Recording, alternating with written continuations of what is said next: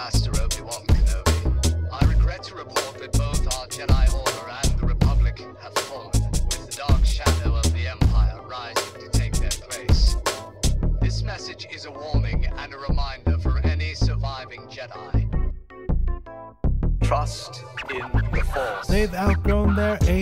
Rebellion, dulled the Empire's edge, defeated Imperial generals and the Pirate Queen's dredge. They've been soldiers and scoundrels, what's there left to be? How about lost acolytes looking for their force and destiny? There's a seer, hermit, investigator, and teacher. Better watch your back, or a vibe ring's gonna reach you. Will this team find the light, or will darkness win the day? Find out with the heroes of the Hydian way.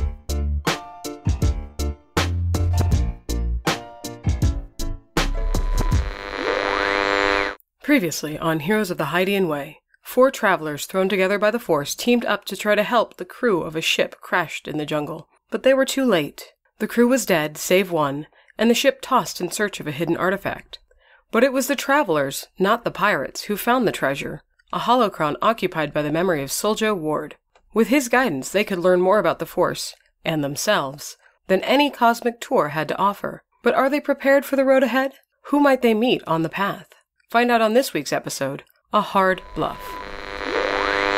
Welcome to Heroes of the Hydian Way. This is a live play podcast that explores published adventures in the Fantasy Flight Games Star Wars RPG line. And this is our prelude, episode 4 of Chronicles of the Gatekeeper. And I'm Ben, the GM for this adventure.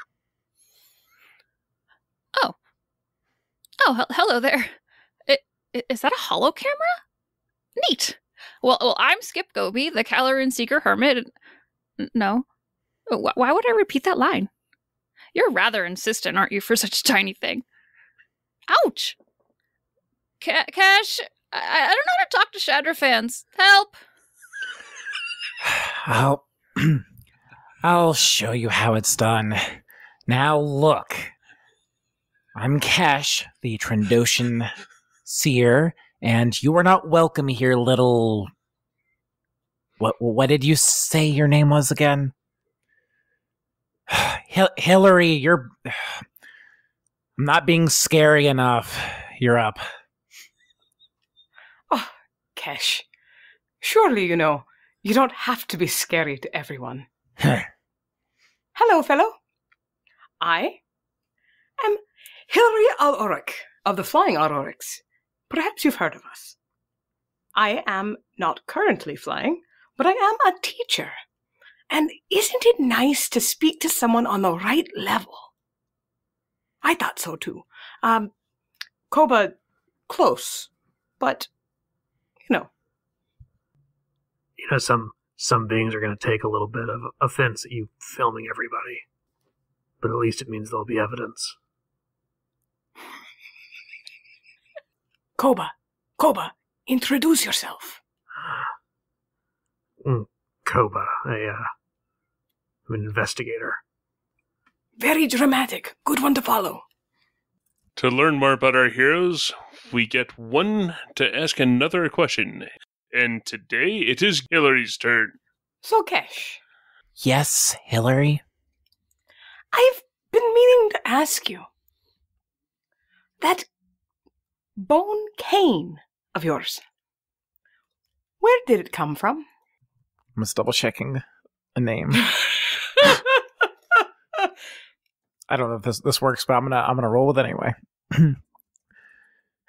well, about the time I started to need one, I was still living on Kashyyyk, and I managed to help in a hunt to take down a Katarn. And uh well, my daughter wanted me to use just some plain old wooden cane, and I was reticent to the idea anyway, so I thought I would fashion one from this latest kill. I think it suits me a good deal better, don't you? Hmm. what is a Katarn? It's a large hunting creature on on Kashyyyk, a reptomammal of some kind. I just, I have to wonder sometimes, you know, should we not come up with a new term for these strange creatures that fit in reptilian and mammalian? I mean, I don't know. I've kind of always wanted to be one. How do you think I'd look with a beard? Fetching. Hmm. You just made Hillary very, very happy. Hillary might have to invest in a beard. Oh no. What have I done? You encouraged. the four of you are preparing the Ghtroc 720 that you had found crashed, mm-hmm. getting it ready for a trip off into the ethers of space. Also, laying to rest the previous owners that had a few unfortunate encounters before they came into your sphere. Now that laying that crew to rest is mostly done, the question I've got for you four is you do have this holocron that one might say is incomplete on account of it's got three large holes in it. What in all are the four of you wanting to do? Like, and also, are you wanting to rename the ship? The Silvered Shell is what it is currently registered as. Have we searched thoroughly to see if there's if the rest of the holocron is somewhere on the ship? I don't know whether you've looked specifically for pieces for the holocron, but you did do a fairly deep pass for if there was anyone else on the ship and if there was anything that the whoever had boarded here had left things. You hadn't found anything that looks like it would be obviously part of a holocron. Did we uh open the holocron before? Uh, you had you had sort of introduced yourself to the gatekeeper of it, and then gone off your separate ways. I know when we last left, Skip had the holocron and was rather giving Ward a, a tour rather than asking uh asking Ward questions about the nature of like the force of the holocron or things like that. Oh, that's right. like, yeah. Don't you want to learn things? Well, it's because I didn't want to do stuff without the rest of you, so I was just, you know, for flavor Which being totally weird. makes sense. I I love Skip. I want to give Skip a hug. the one thing that I know that the gatekeeper would attempt to do is if the gatekeeper's up and still running, they'd be trying to follow up on something that Koba had said about an empire having a holocron being dangerous because this doesn't really compute for them. I'm assuming then that if Skip was still doing the tour, that Ward would be active. Do you want to say maybe the the four of us like come back together and like what passed for like the central room or something after our respective chores? It seems like a good idea. Yeah, that makes sense. What are we calling the middle room? This is actually why I opened it up. I'm assuming we are The hanging promenade. out in More of a Was- lounge, the, really. the lounge, the right? Zocalo. I want an angry dome. Is it too late to have one installed? Okay, so we- we can say like we're maybe gathering. It says the lounge port at ten. And This looks like a bunch of chairs in the picture, but I imagine maybe there's like a little kitchenette or you know something else there beyond just. There's there's a crappy couch. That's what we we need like the friends couch. Oh, oh I feel- God. It's, We'll- we'll it's- hang it's out honestly, there. it's There's that, like just sort of a coffee table. It's whereas the Sky and Fire had this really skookum entertainment area because well, someone bought it. This one, you've got like the refresher. It's like the meal preparation after Han's been at the Falcon for like two months. Mm-hmm. Essentially, a microwave and a small beer fridge. Yeah, it's like one of those apartments that comes with like just a, a tiny fridge and like a, a hot plate, and that's it. Yeah, so exactly. It's like a, it's like a dorm. Yes. It's furnished with with a bunch of five dollar off the uh, curb chairs, couches, tables, mini fridges, and one of the chairs is definitely a lawn chair. It looks like all the money on this ship went into what was in the cargo hold. That's that's fair. Priorities. Um, And now I really want to play a scavenger. I I think Hillary, when coming back from the service memorial thing, would have busied himself into not cleaning, but at least tidying.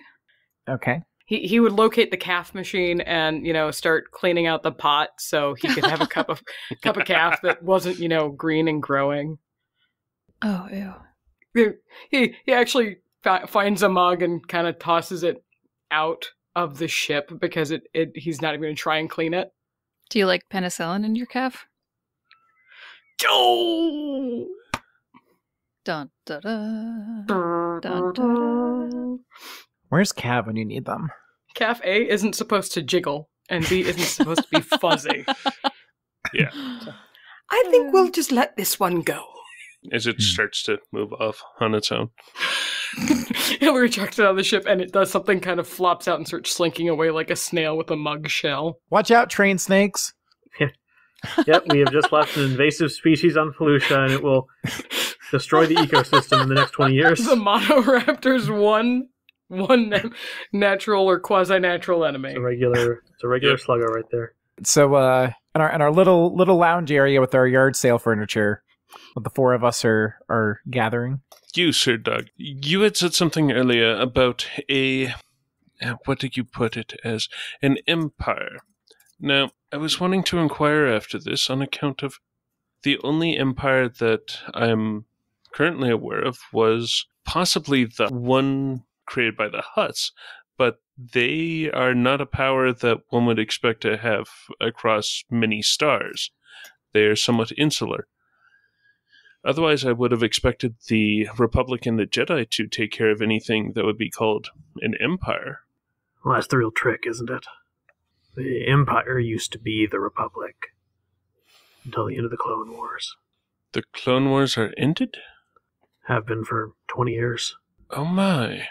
Skip is still holding the holocron out, and when it started talking to Koba, just kind of like you know scooched it in Koba's direction, still still cupping it in their hands. And when it seems like the little the little fella in the holocron is getting upset, uh, Skip is just gonna sort of gingerly set it down on the little coffee table and just back away, looking very sheepish. As for the Jedi, well, the official story is they tried to overthrow the Republic and were eliminated so that they could not. Whether that's the truth or not, the Order is no more. That does sound out of character for most, but the creator of this holocron would most certainly have attempted to guide such a perception and also guide such a reaction, for that is what they were known for. Now, when you say guide, guiding in which way? Like for the uprising or um for the republic? Well, you must understand that the information that I have is only as recent as my last contact with Soldier Ward. And in this, Soldier Ward was a dedicated knight of the Jedi and had fought many battles within the Clone Wars. Um, he possibly could still be alive, although I guess it has been some time since I was created. He was a loyal Jedi, but he was well known for being able to foresee the future, and not just in the fashions that a normal Jedi could. And with each different person who is talking to the gatekeeper, they will momentarily disappear and then reappear pointed directly at the speaker. Now, pardon my, my ignorance, um, but when you say foreseeing the future, would you care to elaborate? Well, you see, Soldier Ward, in creating this holocron, he did so to store his knowledge, and including the secrets of the force powers that he developed. He even went to the point of calling it a foresight, a Ward's foresight, if you will, though that is somewhat of Soldier's own hubris. Soldier Ward was known for many accomplishments and feats, both before and during the Clone Wars. His greatest contribution to the Jedi Order, however, was his refinement of the ability to predict the future. Although many Jedi are capable of foreseeing future events, Ward's ability was different. Rather than focusing on visions of events yet to come, Ward perceived the future decisions actions and intentions of other sentients. Not only could Ward see beyond the lies and deceptions, he could also predict another's decision long before that person even contemplated the matter. Sounds useful. Is that a technique you were taught as well? Hmm. The secrets of this technique, as well as the most sensitive knowledge Ward possessed, are not contained in this holocron, but in a set of three kyber crystals she created alongside it. This holocron is the only means by which to read these crystals. I don't suppose you know where Ward stashed them. Oh, Soldier Ward completed the construction of this holocron while on the planet Arbuine. He entrusted one of the crystals to a young force sensitive Mirialan named Gail Markov. He saw great potential in this Markov, whom he hoped would become his Padawan. Ward kept the other crystals with him, and where they are now, I cannot say. If you hope to learn this technique beyond his basic predictive abilities and unlock the full potential of this holocron, you must travel to Arbuine uh, to retrace Master Ward's steps. To what end? You don't think being able to see the future would be valuable? Just don't know what we'd do with it if we could. Besides, I don't really believe in destiny. And yet, here we are aboard a crashed ship in the middle of nowhere with a mystical device with unique information with four people potentially capable of using it. How can you not believe in destiny? Galaxy's a big place. There's a lot of crashed ships in the middle of nowhere. Now, Koba, you don't believe in destiny, do you? But do you believe in mysteries? Yes. Would you say that you like investigating mysteries? I see what you're trying to do. I am merely pursuing a line of inquiry, I think you'd call it. Look, I have my own reasons for following this thing, maybe. I just want to know where everybody else stands. Well, as Kesh knows, I've got nothing better to do. So I would like to go and pursue this mystery wherever it takes us. If it happens to take us to those who perpetrated these acts of darkness on this ship, more's the better. I was looking for a sign and I think I found it. I'm in. What about you, Skip? You've been quiet. And what about you, Skip? Oh, I don't have anything better to do.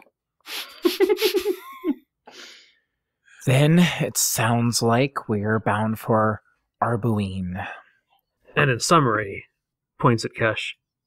Faith points at Hillary. Hillary. Boredom points at Skip. Also boredom. Oh, I'm not bored. Dare say I'm not either. I'm just interested in a new activity. I'm just really excited to meet all of you. You seem all very interesting. And, you know, Gudge and I needed something to do after this really impromptu vacation that we took. Skip's just jazzed to be on the show.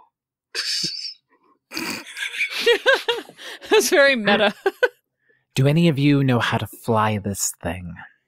Oh. I'm sorry, what? Do any of you know how to fly this ship? well, I've never flown a ship like this exactly, but I'm sure I could probably figure it out. Give it a real solid try. Great, you're hired. Figure out how to get us in the air. Wait, like a job? Not like a paying one, like a like a job aboard the ship. We're all going to work together on this. I'm assuming we each have different strengths to bring to the table. Congratulations, you're an intern. Not not really. Intern is he's barely a step above custodian. Custodians get paid. I've never been a custodian either. Well, right now you're a pilot, and I'm not getting any younger. That's for sure.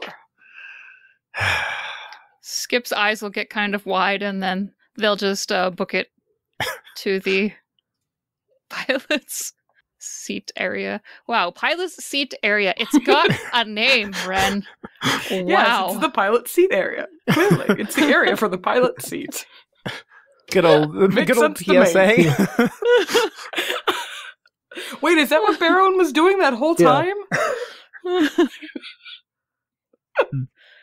Uh, and then, uh, as as Skip leaves for the cockpit, uh, Cash looks over at, at Hillary and asks, "Do you think you could help me up? I don't think I can get out of this couch on my own."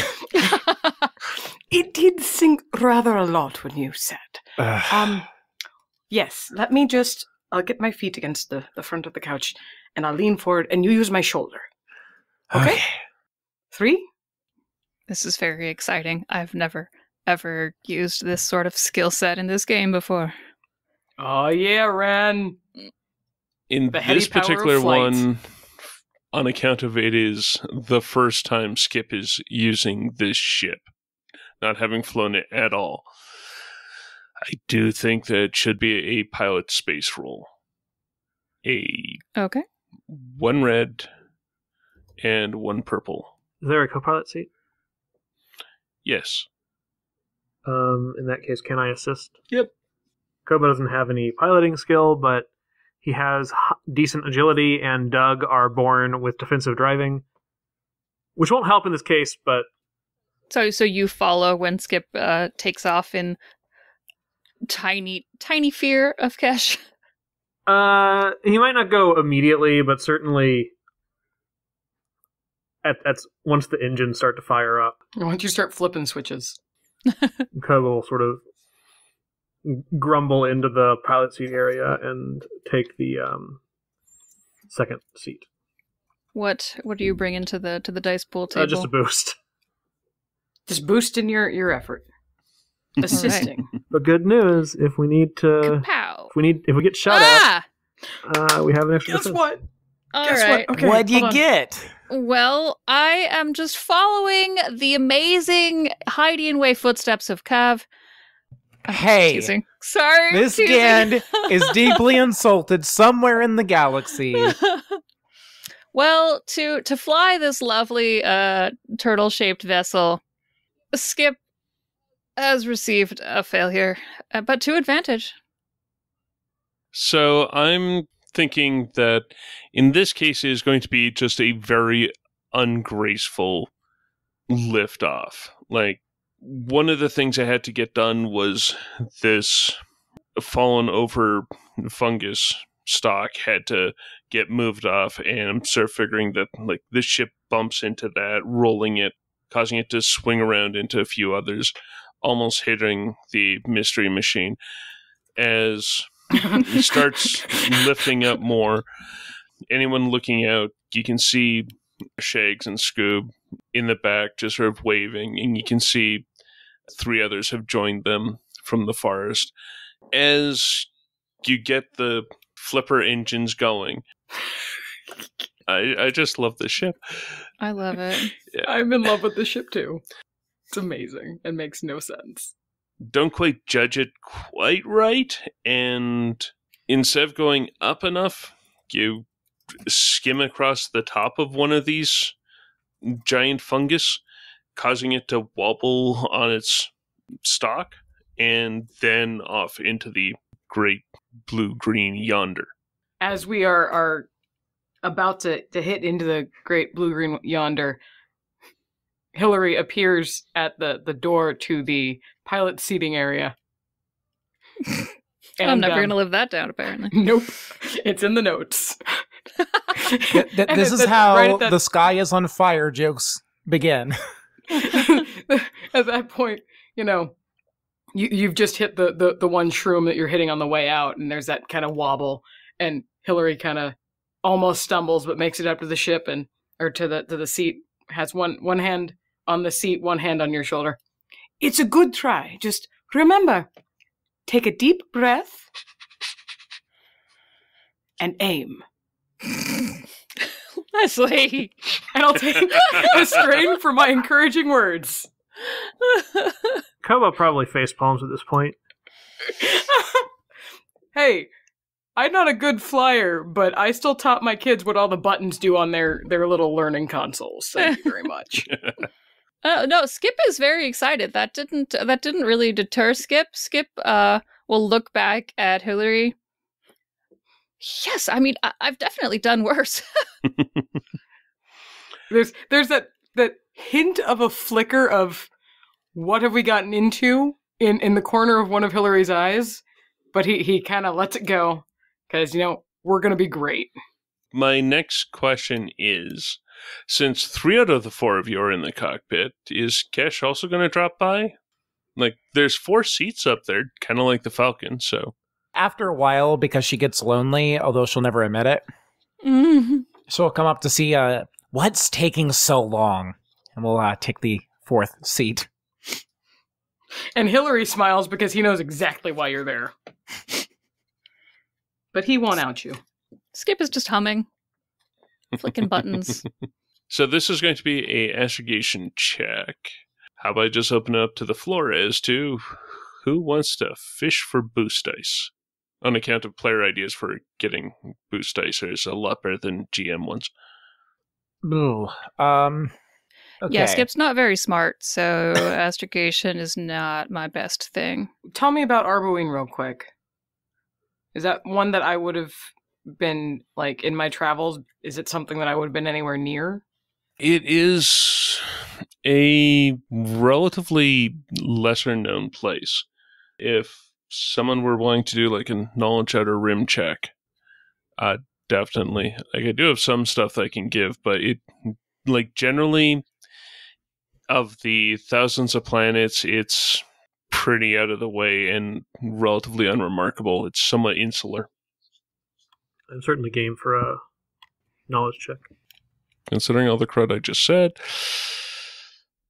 I'm just going to go with an average with a setback. Okay. I'm going to use Talk the Talk to flip a destiny point. Did we ever tell them what our destiny pool was? Well, it's, Oh, I don't know if we did. I forgot to do my job. it 'cause I'm was two light it. side and three dark side, but now now it's one light side and four dark side. Yay.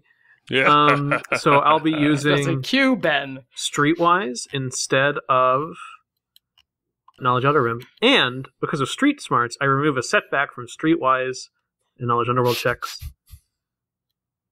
So I'm now just doing a average Streetwise, I believe. Bingo. On account of its four destiny points, I am tempted to upgrade it. I, I'm not. I wouldn't have counted it against you. I'll upgrade the next thing. Ah, ha, ha, ha, ha. Three successes and a threat. So is that like three truths and a lie? Mhm. Yeah, just tell me four things about Arbuine, and one of them is just not true. That is a possibility. I, I love that. That sounds great. That terrifies me, but at the same time, I do kind of support it. So, Arboline, I am going to twinge at that name for a long while, is located far spinward in, in galactic east of the reaches of the Outer Rim, joined to the Corellian Run by the much lesser known Diophos Spur. Time getting there is generally, it is what Kashyyyk used to be. It is a tree planet. You know how Star Wars has mono environments? Yeah. Well, this one's the tree planet. I had I had a suspicion because of the name. I mean, that's fair, but why used to be on Kashyyyk? Because Kashyyyk now just has really large trees and like a lot of water. Yeah, it's it's kind of it's actually a multi biome. Yeah, It's weird. Shenanigans. one of the weirdest parts that come out of the prequels trilogy. Yeah. The other hand, that was coastal, so we've got no real ideas further inland, but that's an entirely different thing.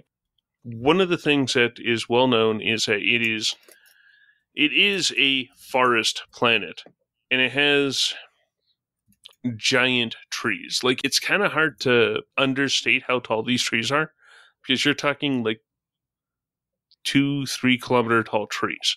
and the planet itself is pretty much covered. Like there is enough sunlight to get through to have actual plant life underneath, but there is a great amount of impenetrable or semi impenetrable tree coverage on it.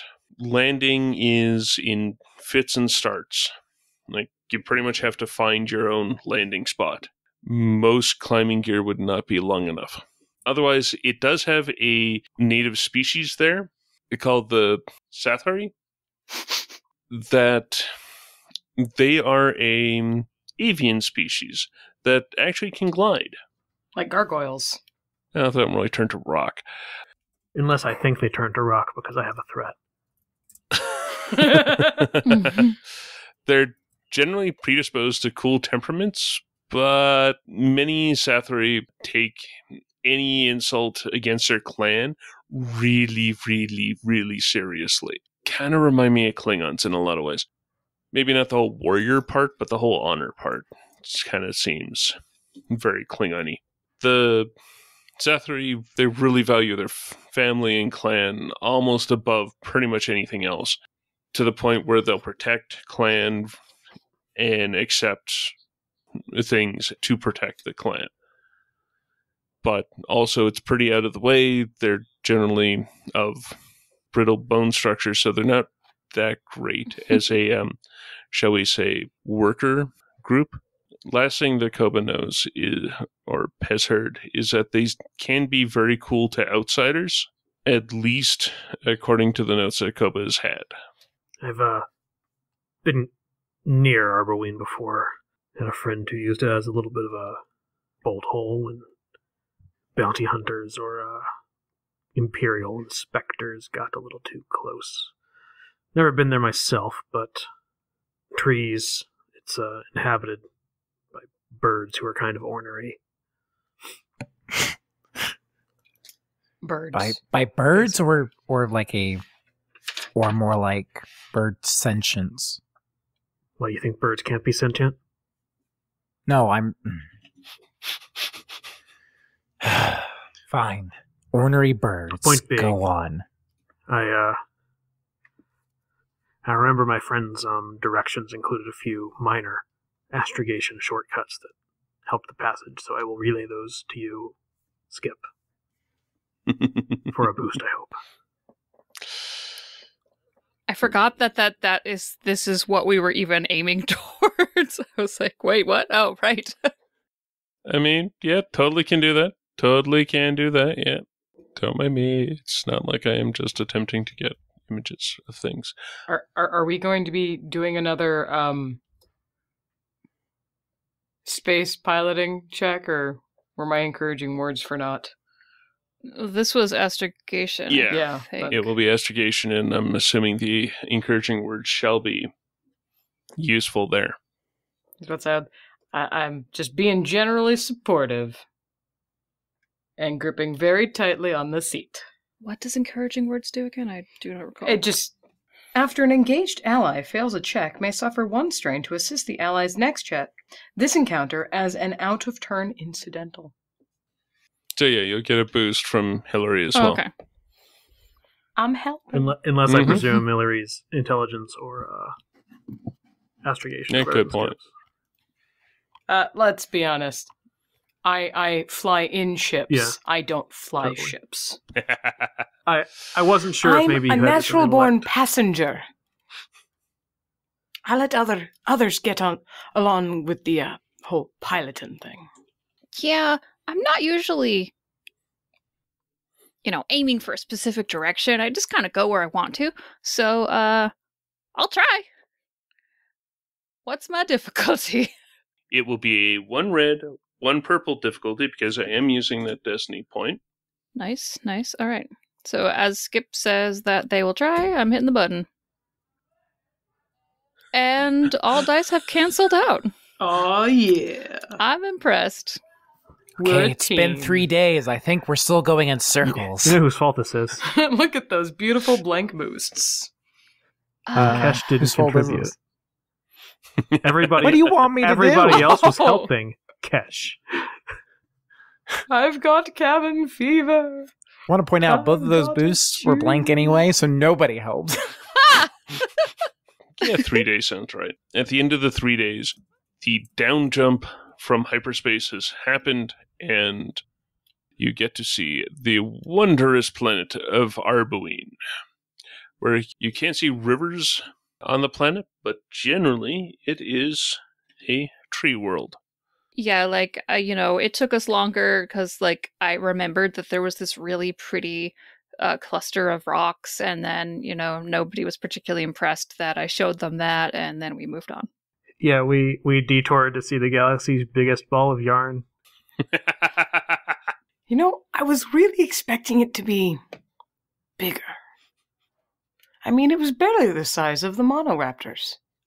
I, I I'm I, I just assumed that you would think because it's very you're very you know what I'm gonna hmm all right I just can't figure out why the It's Imperials Skipp. use yarn to build a battle station.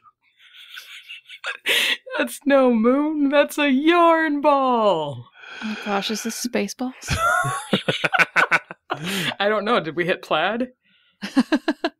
Anyway, three days uh, later, we see a Yes. tree planet. As you drop out of hyperspace, I'm assuming everyone's up in the cockpit on account of it's got the best windows, and you can act- everyone can actually see things.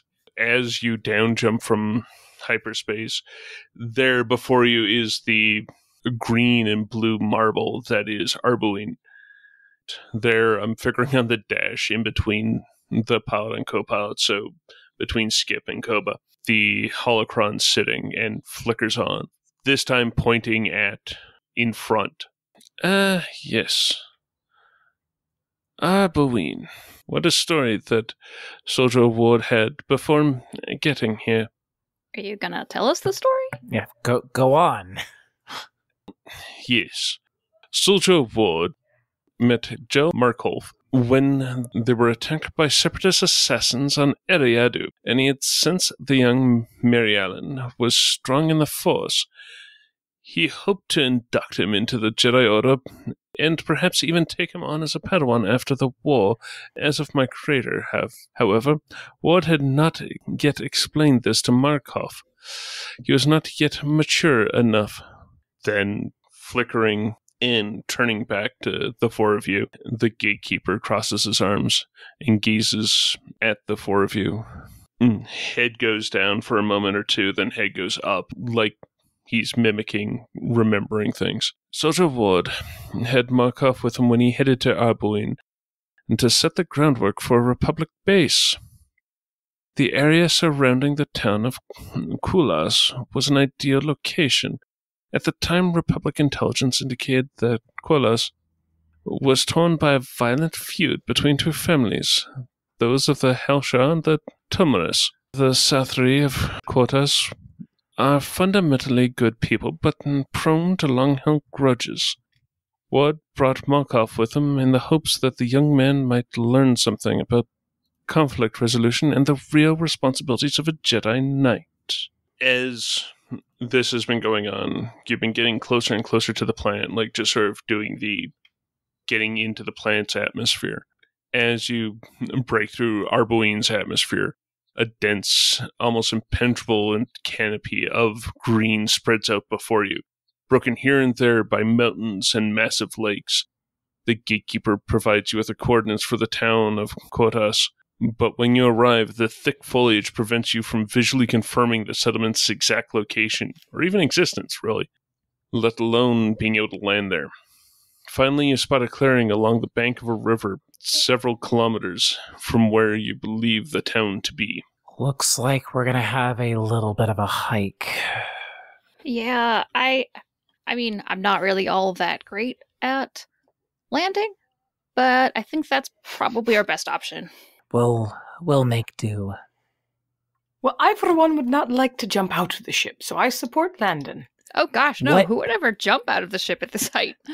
Idiots. The people who would jump, not not you. Oh, it's all right. I've been called worse. Oh, Is a walk going to be a problem for you, Kesh? I'll manage. All right, Skipp's gonna bring do their in. best. oh, I'm suddenly scared that I took pilot stuff. Right? It's There's a big so responsibility. pressure. I will never tease Cav again. Oh, that- we- you know that's be a lie. For, for that, for that. Um, okay. Specific thing. Yeah, I'm wanting to get a one red, one purple pilot space roll to land. Again, probably not going to wreck the ship or anything, but Yeah, all right. I'd love it if we just crashed. Doing the thing. Yeah! All right, I got two successes and just one tiny little threat. Just one. Very excited. okay. Uh, do you want to describe this one, Red, of how you're landing on Uh, this riverbank? Yeah, okay. So Skipp, after that little conversation with Kesh and company, after saying that they're not very good at it, you know, they're they're not that bad at it, but they're you know trying to trying to downplay so that in case they messed up, you know. The landing is mostly good. In fact, it would have been good if at the very last minute Skipp hadn't seen some little creature of local wildlife and then have to make a really kind of last minute jerk to the left to avoid hitting it. And so they do they do kind of bump and and and hit and kind of like uh create some like little grooves into the ground where they landed just like slightly cockeyed. But they land, they stop, and Skipp turns around and says, Yeah, that was pretty good landing. That it was. You did very well. Did you see that thing out there? Um, Hillary kind of the looks at his his vantage point compared to the the window. I'm afraid I missed it. You'll have to point it out when we're off the ship. It it, it probably ran off. That was probably kind of loud. Yes, I imagine so. Hey Ben, Hey. could we collect like a little like bag worth of? Uh, is there any like food or water we can sort of gather up here? Absolutely. Okay. Kesh will go ahead and prepare some kind of like little satchel or something full of some supplies and swing it over top of her shoulder. In Skipp's little backpack of randomosity, uh, I already had purchased some ration packs for that, so I'll I'll consider them good. Okay. Does Skipp also have a yo-yo? I feel like Skipp needs a yo-yo. Find out later if the need arises. Around the world. Is there anything that you're wanting to do on the ship before heading off? I will pack up my awesome little backpack briefcase, which I haven't had a chance to describe, but I'll tell you all now. I wear suspenders with that X in the back, and my briefcase, which is what it looks like, it looks like like a little schoolboy's briefcase from like the 1900s or something. But it has a magnetic thing, so it just clamps onto my back like a backpack when I want it to. yeah, no, I'm that cool, man. That's amazing. So I have like granola bars or something like that in there. Oh, that's wonderful. then you've got dapper little Hillary ready to go spelunking in his pinstripes and spats. On a planet where the plants are probably larger than he is. Probably. Unfortunately, the plants are probably larger than all of us, so at least I won't look out of place. Mm. Uh, Kesh is going to take up the um the new staff that she found aboard the ship last time, the one with the Trandoshan and Nikto markings and all that, Okay. to use as a as a, as a walking stick as we proceed. And Skipp is going to turn to everyone else and say, "Uh, should we take the box with the, our little friend in it? That's probably a good idea. Should we kind of wrap it up in a scarf or something and stick it in one of our bags?" Go for it.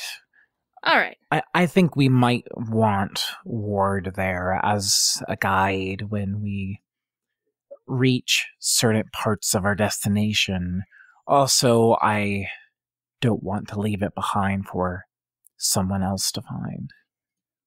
Right. I just kind of figured if we were walking around just sort of talking to him, then if anybody was in this woods, as anybody was in these, you know, woods that wanted to steal stuff, uh, I think that probably would look like a really fun thing to steal. So maybe not carrying it around, I guess. That seems a prudent choice. Well thought of, Skipp. Pat pat. Whoa. So Never why don't you before. wrap it and put it in your bag, Skipp? You can be the the box holder. All right. There you go. Another job for you. Skipp is so excited for this. Uh, finds the like most ugly piece of cloth, random, random cloth that that they can find to wrap this thing in. Uh, it's a So floral that print looks- shirt. Very not. Yes, perfect. It's a So that it floral print sweater. Uninteresting. Ooh. Ties it up in this sweater and stuffs it in the bag. Nice. Covers it with the ration packs. Does Koba carry a bag? Uh, no. Koba does have a utility belt, though. Well, you need one for your uh, your uh, vibro rings. Yeah, Koba doesn't carry any sort of bag, but his vest sort of thing, because Dug are weird, they can't really wear normal clothes, has a utility belt fastened across it. Maybe more of a bandolier sort of situation, Yes, I support it. with a couple vibro rings like stuck in. Um, they wouldn't be like leather loops or whatever, because vibro rings would cut right through those, but some sort of They're like magnets, Yeah. just they clip on. Doop. and uh, his pistol at his side. It's a revolver, in case anybody's curious. Because it's gotta be. One of his pockets on the utility belt probably has bullets. it's not just a revolver; it's it's a literal. It's a slug thrower. That's So- awesome. Do they talk? You look so cool. No, not not as far as I'm aware. Oh, and just because cuz we're going for the descriptions, I guess Skipp is also carrying a very long uh, rifle. I think I am going to get a hard survival check from the group. Well, I hate to tell you this, but you might not be surprised to know that I offer nothing. Yeah, I have a two cunning, no no skill at present. I have two cunning and one rank. All eyes look to Brandon. I have a four cunning and no rank. Well, we've got my rank then. That's one and three. Yeah. Could be worse. Uh, well, I've got four cunning, so it's one and four. Right. All right, it sounds like Koba and Skipp are taking the lead here. Do you want to roll this? I've made a Okay. bunch of rolls, so you can you can go right ahead. Take take my yellow die. Enjoy. Right. Uh, and difficulty, Ben. Is going to be a one red, one purple, because I misread things. I was about to say, you're dark siding, aren't you? Well, if it was a hard Yeah. check, I wasn't going to, but since it's a average check, yes. I thought you said it was a hard. Yeah, I misread. Two advantage. Oof. Oof. Wait, didn't you say you had to roll four green? No, I, my cunning is four, Oh, oh, okay. but I have sorry. no ranks. So with your rank, Right, right. one of them Mhm. yellow. This is going to be that kind of kind of season, You mean like most seasons? like like every season of this show. Yep. We're very new. We don't have a lot of skills yet. I, I've you guys haven't heard it yet, but in my character preamble ramble letter thing, I make a whole side note about how I'm much much more comfortable with my feet on the grates than the ground. So super not my world.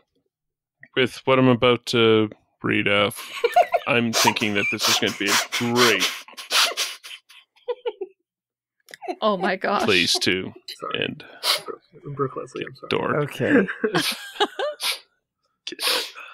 Yeah, dork. It wouldn't have been so oh. bad if I didn't have a mouthful of coffee. This All right. So, the four of you come uh, to a cliff that blocks your path, and you find yourself at the base of it. You can either go to your left or right, but it looks like that's going to take a long time because you can just sort of see this ridge that there's a lot of trees that seem to be going up along the side, but it's a somewhat sheer bluff. There's a lot of handholds and that sort of thing, but you'd actually have to climb it or go around, essentially.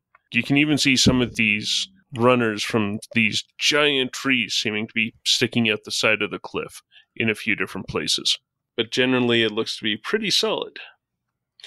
As the four of you come up to the base of that and look up, off in the far distance, you hear "Rah!" of something. So, I imagine when you have trees this big, you have creatures suitably sized for them? Uh, usually. Well, how tall is the cliff range man wise? I am going to go with it is medium sized. Okay, perfect. Oh no.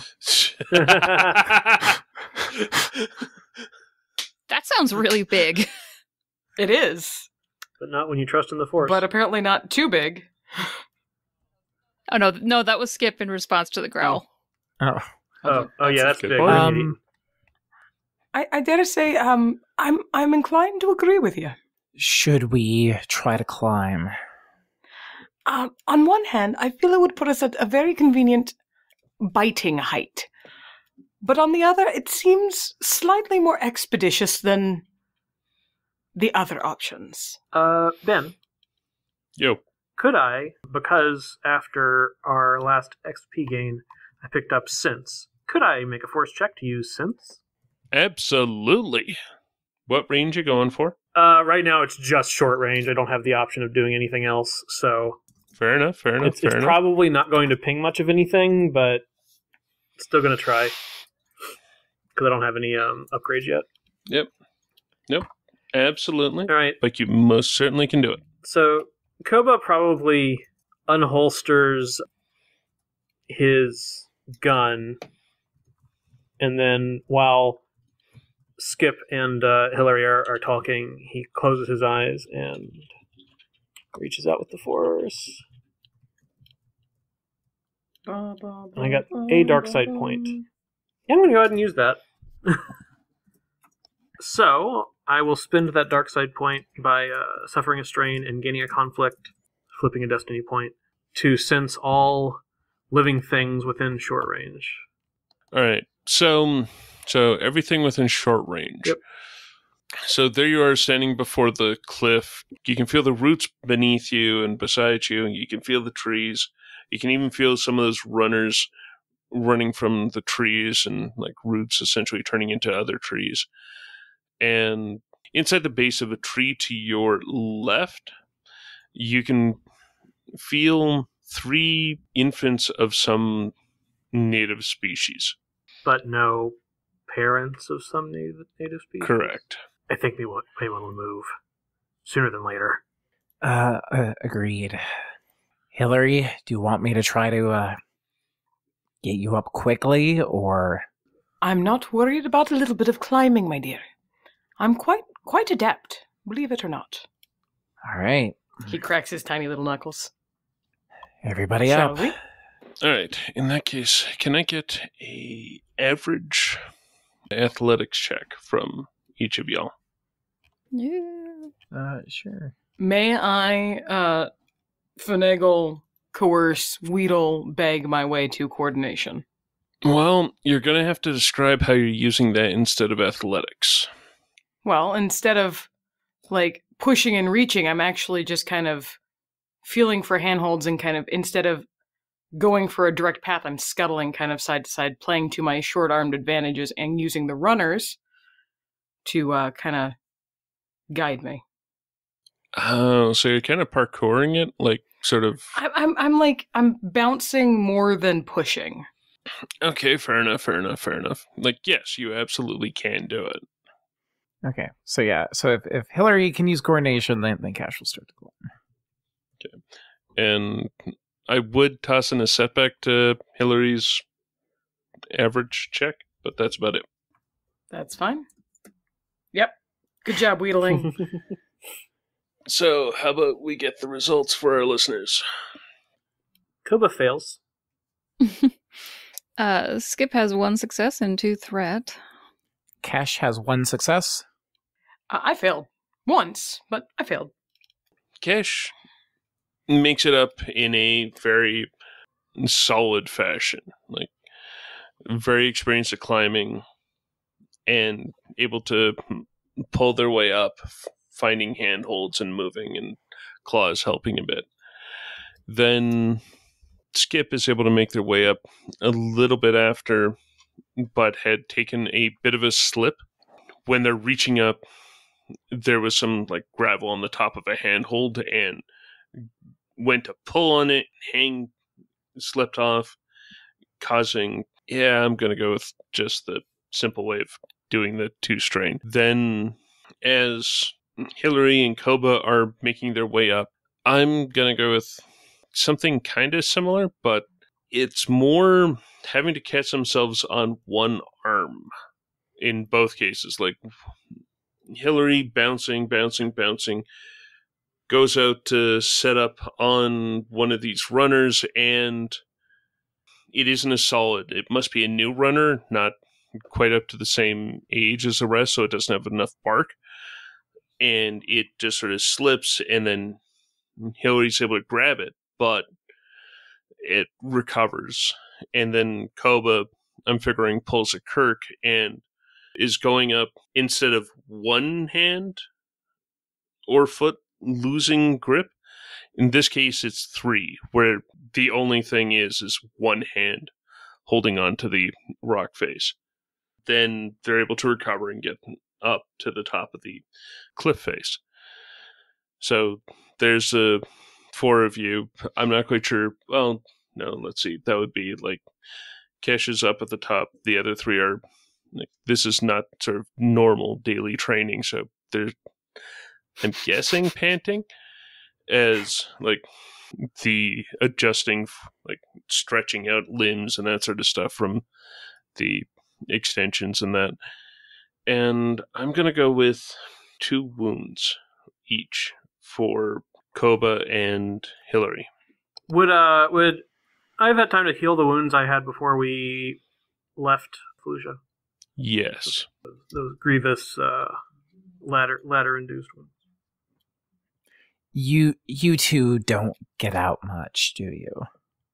Hillary makes a face, but he doesn't say anything. He just gives her the stink eye.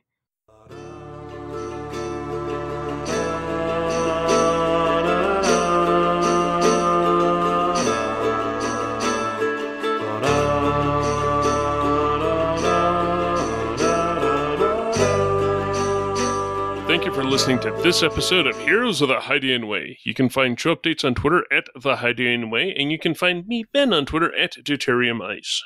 You can find me, Ren, at Atomic Firebird on Twitter, or if you want to see the various projects I'm up to, you can go to at make underscore believe RP. And you can find me, Christine, on Twitter at 12th Night. That's 1 two th and Night with a K. Uh, in addition to this show, I have two D&D 5e actual play podcasts. Uh, the Glass Dagger can be found at completenight.com, also night with a K. And Omen's Call can be found at omenscall.com, Not with a K. not with a K. Uh, I remain as ever Leslet GS, and um, still hanging out with my pod family on here and Soul Zero and Force. Ma- Hmm, I always do that. Love, love for the Force Majeure, but I mean to say Flight Risk because that's where I've been. And I'm on Twitter at Blue of the Kin. And also, I have a uh, Star Trek Adventures podcast called Endeavor Through the I'm Yes, excited. Endeavor Through the Maelstrom. You can find out more about that uh, via Twitter at Endeavor Show. That's E N D E A V O U R show, uh, or in your podcast outlet of choice, probably. Definitely. Confidence, Yes. Brandon. Well, unless I mean, I don't know what they may they might choose a weird one like like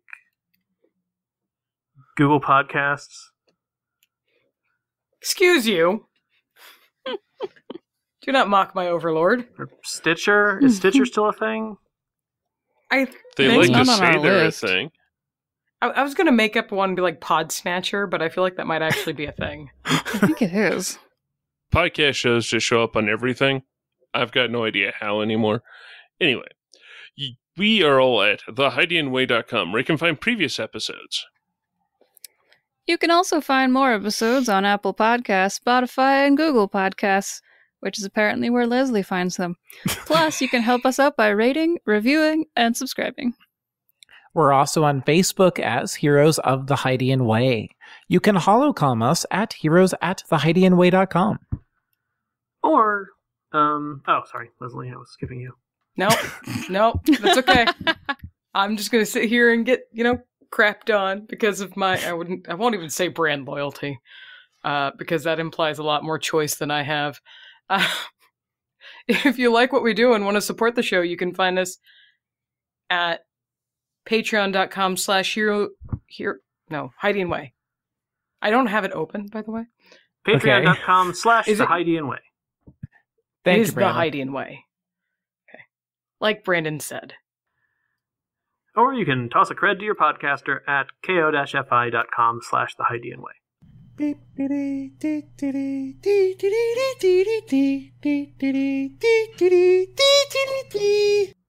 Brandon, at some point, I just want to have Koba go Metal Gear. I know, right?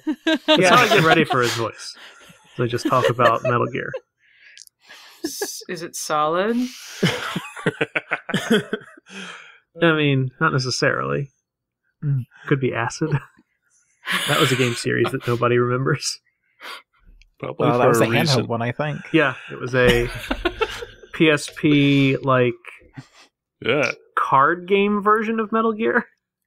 what? Metal Gear Acid. Yeah, I'm not making it up. It's a thing that existed. And today it is Ghillary's turn. Hillary's turn? Sorry. Hillary's turn. The G is mostly silent. I think it's pronounced G Hillary. I guess it's like like a dash, basically. You always have to say it like it's like it's an anime character. Yeah, G Hillary.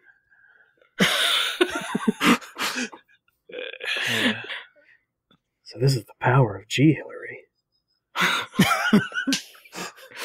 Brandon and I may have been watching too much Gundam. May. Um, okay. So, Kesh. Yes. Damn, n- dang it! Now I'm doing the Metal Gear voice. Well, you are more of a snake than others. yeah. Hmm. What is a Katarn? It's a Powerful large Jedi of some kind. What? I I don't I don't know what you're talking about. We're about. punchy Koba. today. Well, we listened to the train. I didn't know we were back on Ord Mantell. No, there's uh, on Felucia. There are uh, uh, train snakes. Ah, yes. That's their hunting cry. Yeah, yeah. When you hear a train, when you hear the the horn, you really gotta get out of there because the train snake is somewhere near Yeah. on the hunt. Locally known as the Monoraptor. Monoraptor. Monoraptor. Ah, I hear those damn train snakes coming again. I'm not really comfortable with the Monoraptors. Um, should we close the ramp? Probably a good idea. too big to fit up the ramp. I hope they're too small though to swallow the ship whole. Not positive. They can unhinge their jaw pretty wide. Uh, hides Heidi spot, but um, Heidi spot. Is that like the pilot seating area? It's close.